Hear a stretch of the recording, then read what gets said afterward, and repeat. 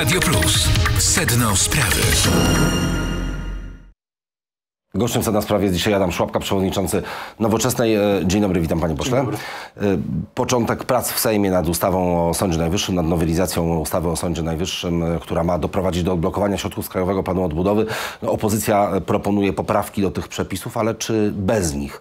Też poprzecie te rozwiązania? Czy wstrzymacie się od głosu, czy będziecie przeciwko? No zakładając, że ta ustawa będzie wyglądała e, tak, jak znam, jaką znamy od miesiąca.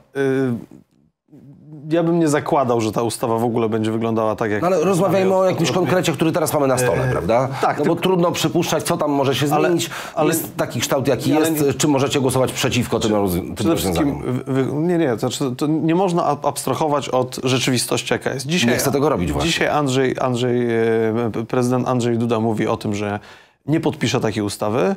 Solidarna Polska mówi, że nie zagłosuje za tą ustawą. W związku z tym należy się spodziewać, należy się spodziewać tego, że będą autopoprawki wnioskodawców.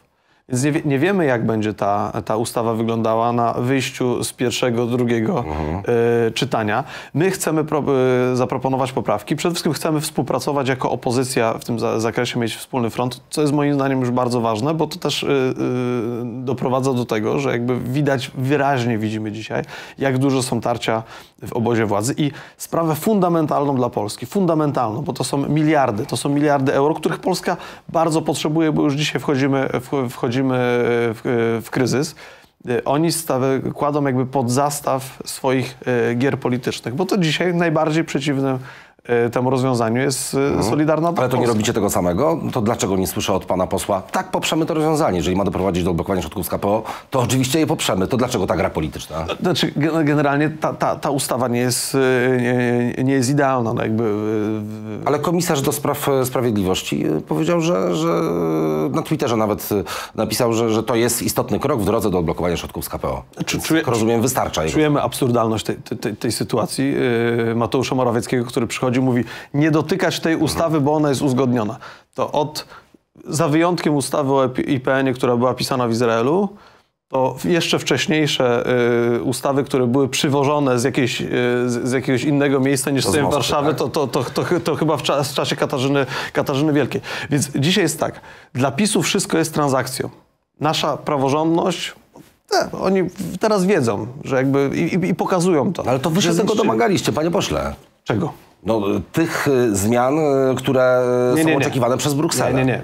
My walczyliśmy bardzo mocno i sygnalizowaliśmy to, mówiliśmy o tym, krzyczeliśmy wręcz o tym, że to, co robi PiS, to jest zniszczenie polskiej praworządności. I to jest zagrożenie dla obywatela, bo y, w momencie, kiedy państwo jest niepraworządne, to w, w momencie zderzenia z, pra- z, z aparatem państwa, pan, ja czy jakikolwiek inny obywatel nie może czuć się bezpiecznie, bo wie, że aparat państwa ma przewagę w stosunku do obywatela. No, O pan tym- też ma parę przewag w stosunku do zwykłego o obywatela. tym, o tym, o tym, Immunitet ta o przewaga tym, się o tym mówiliśmy. No, yy, No, ale to tak abstrahując. tylko w, w tej sytuacji, kiedy prokuratorem generalnym jest Ziobro, to immunitet jest po to, żeby yy, prokuratura nie mogła wystawy, zaaresztować tymczasowo 50 posłów i wtedy, yy, wtedy PiS by nie miał problemu z głosowaniem.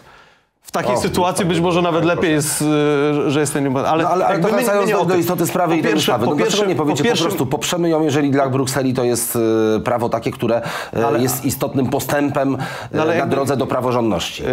Znaczy, nie no, oczy, oczywiście, znaczy lepiej, żebyśmy szli do, szli do przodu. O, Mhm. Oczywiście to jest jakby jasne. Natomiast mówię, ta, ta ustawa no, no nie rozwiązuje jakby kwestii praworządności w Polsce. No jakby nie może być tak, że, że Naczelny Sąd Administracyjny, który nie ma ku temu yy, kompetencji, yy, zajmował się yy, sprawami dyscyplinarnymi.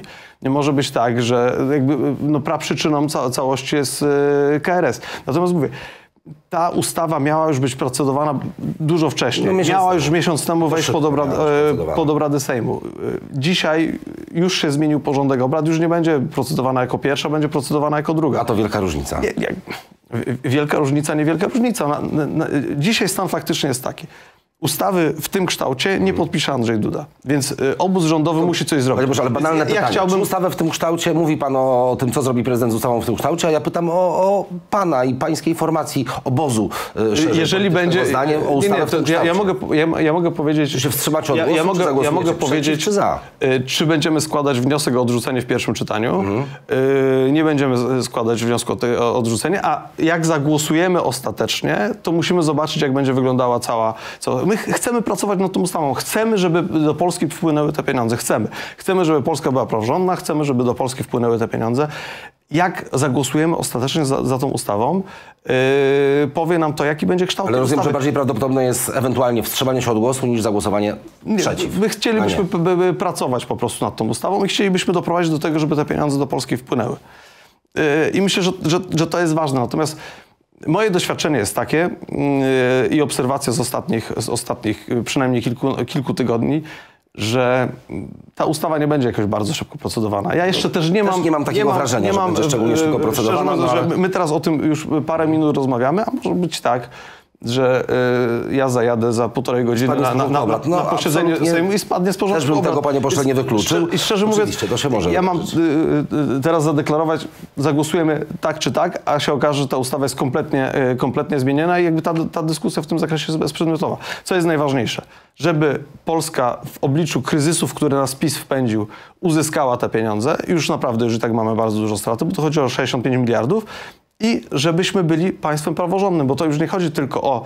Yy, yy, ta, także chodzi o to, żebyśmy w ogóle dostawali pieniądze yy, różne z Unii Europejskiej, no bo Unia jest wspólnotą. Sporo mniej w KPO. Jest nie 65 miliardów, tylko 30 kilka miliardów. No, no- łącznie dotacji i No pożyczek. tak, ale dzisiaj mowa już będzie nie tylko o KPO, bo yy, mechanizmy pieniądze za praworządność be- będą, będą działały po prostu. Okej, panie, panie pośle, to, to trochę zmieńmy e, temat.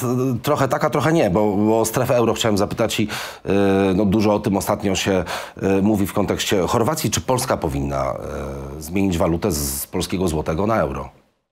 O taką decyzję podjęli Polacy w 2003 roku w referendum, bo to jest w traktacie akcesyjnym. Taką, taką Prawda, podjęliśmy- czasowo nie zobowiązujące, no, ale to już podjęliśmy- 20 lat temu. To, Tak. to wie pan, panie pośle, to już trochę inni Polacy niż e, ci, którzy dzisiaj mogą... Od... Pan, pan głosował, ja głosowałem. No, No tak, podejmowaliśmy już pięć decyzję w tej sprawie. nas nie głosowali.